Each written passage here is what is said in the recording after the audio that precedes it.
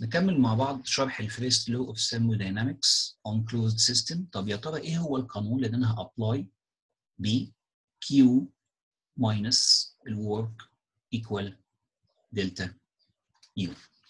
Q heat work W delta U change in internal energy. خلينا نمسك term term فيهم ونتكلم عنه باستفاضة. ال Q هي ال heat وال units بتاعتها هي عبارة عن كيلو جول ال Q ممكن تكون positive value ممكن تكون negative value ممكن تكون zero طيب إمتى هعوض ب positive إمتى هعوض ب negative إمتى هعوض ب zero لو أنا عندي أي closed tank أي closed tank والحرارة خارجة من ال tank فبالتالي الكلام دوت هيبقى بال minus بي lose heat لكن لو أنا بدخل لل system حرارة فال Q بالنسبة لي تعتبر positive لكن لو ال system جه insulated or adiabatic. فكلمه adiabatic أو insulated إن no heat in no heat out يبقى ال Q بتساوي zero طيب نفترض في المسألة بيقول لي find ال Q خلاص أنا بسيب ال Q زي ما هي positive sign. وبعد كده في الآخر لما بطلع بال result بتاعت ال Q لو طلعت minus يبقى هي lose من ال system لو هي طلعت plus يبقى هي added to the system. ده بالنسبة لل Q بالنسبة لل work ال work فيه منه ثلاث حاجات. أهم واحدة فيها اللي هي حاجة اسمها ال boundary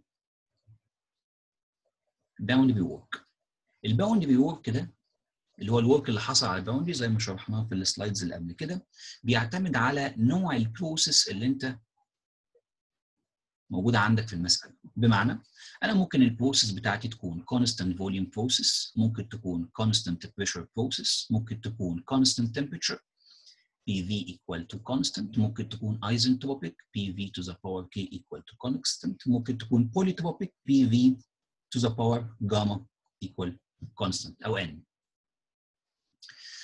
لو البروسيس بتاعتي constant volume يبقى ال work boundary equal to 0 لو ال process بتاعتي من 1 ل 2 constant pressure فال work بتاعي هيبقى عبارة عن M P V specific 2 minus V specific 1 ده لو بتكلم على ال steam.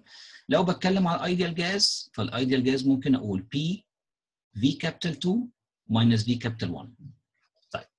لو هي isothermal يبقى ال work بتاعي هو عبارة عن P1 V1 أو P2 V2 ln V2 على V1 لو ال process بتاعتي isentropic أو polytropic يبقى ال work بتاعي هو عبارة عن P2 V2 minus P1 V1 over 1 minus N. وإحنا اتكلمنا عن الكلام ده باستفاضة لو تفتكروا إن إحنا كل process رسمنا لها ال PV diagram وقلنا ال units بتاعت كل واحد. إحنا بنستعرض مع بعض سريعا إن بقول لك إن ال work boundary بيعتمد على نوع ال process طيب في عندي حاجة ثانية اسمها paddle wheel paddle wheel إيه ال paddle wheel إن أنا ممكن يكون ال tank بتاعي يكون في حاجة بتقلب بتعمل ستيرنج للليكويد اللي موجود جوه أو ال fluid اللي موجود جوه. فال work هنا بتاع ال paddle wheel لازم يكون ب minus value إن هو added to system يبقى ده يخلينا نرجع تاني لحاجة مهمة جدا. لو أنا عندي أي system لو هو بيطلع work يبقى ال sign بتاعت ال work positive لو هو بياخد work عشان يشتغل يبقى minus work minus آخر حاجة برضو تانية لو أنا عندي electric heater. فال work electric equal to minus I current V volt في ال time برضه لو أنا عايز أسخن فبجيب سخان كهرباء. السخان الكهرباء ده عشان يشتغل لازم ياخد work فال work يبقى minus I في V في T وهنا بيبقى في مسائل شهيرة جدا. ممكن يقول لي find ال time اللي يخلي مثلا ال system اللي جوه يتحول من saturated liquid إلى saturated vapor ببقى عارف إن ال time ممكن يطلع من ال work بتاع ال electric.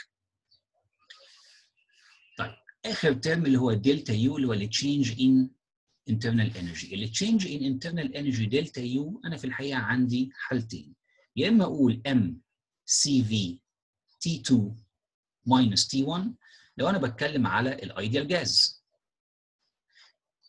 أو إن أنا أقول ماس U2 small minus يو 1 سمول اللي هي ال specific لو أنا بتكلم على ال steam وزي ما إحنا قلنا قبل كده برضو إن أنا ممكن أي closed system أي closed system أنا ممكن أحط فيه يا إما steam pure substance H2O refrigerant أو إن أنا أحط فيه جاز هيفرق؟ آه هيفرق. إن كل ال gases بيبقى ليها لو برضه افتكرنا مع بعض إن أي جاز في الدنيا بيبقى ليه حاجة اسمها CP CV K R